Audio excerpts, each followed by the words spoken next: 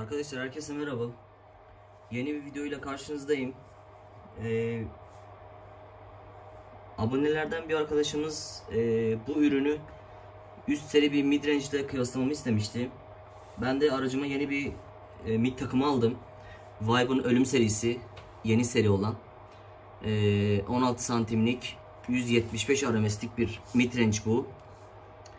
Temiz bir ürünü buldum. 175 watt RMS 525 watt pik empedansı da 4 ohm ve gerçekten kaliteli bir midrange.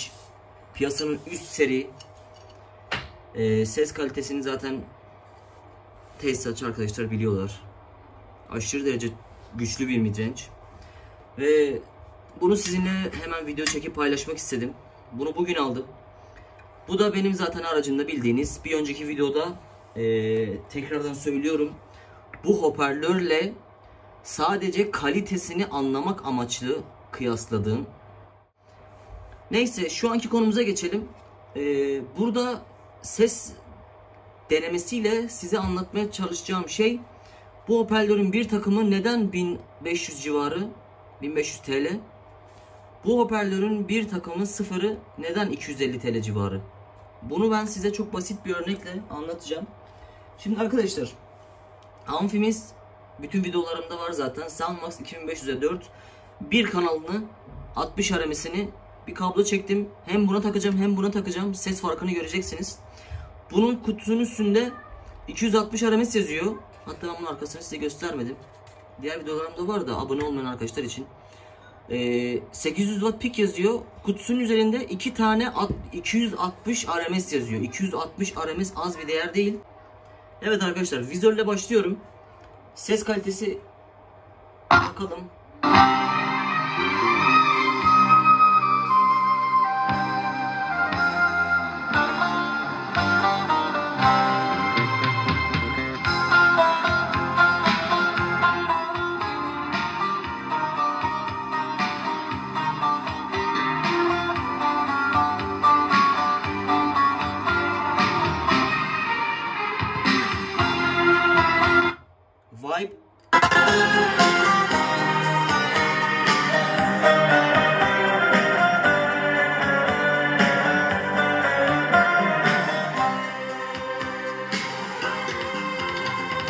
Ne sen Leyla'sın ne de ben Mecnun.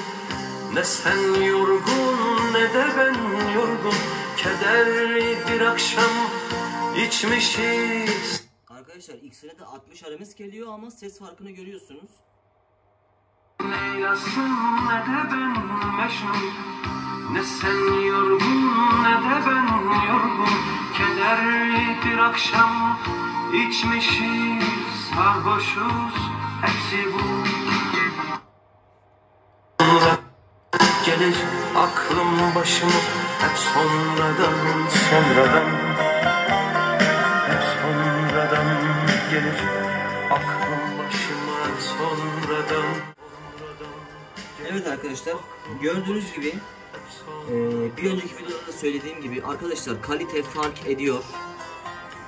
Bakın şu an 60 RMS'lik bir amfinin üzerinde bu piyasanın alt segment hoparlörünün ses gücü ve ses kalitesini tonlamasını gördünüz çok zayıf. Piyasanın en üst kaliteli, en üst e, seri midrange'ini gördünüz. Vibe yani Vibe Edge, işte Power Bass bunlar zaten piyasanın üst e, segmentteki hoparlörleri.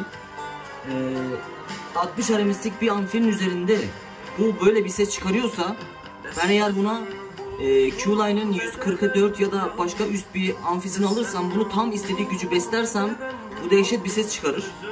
E, söylemek istediğim konular buydu. İleride yine kıyaslama videosu gelir inşallah. Beni izlediğiniz için çok teşekkür ederim. Tekrardan görüşmek üzere.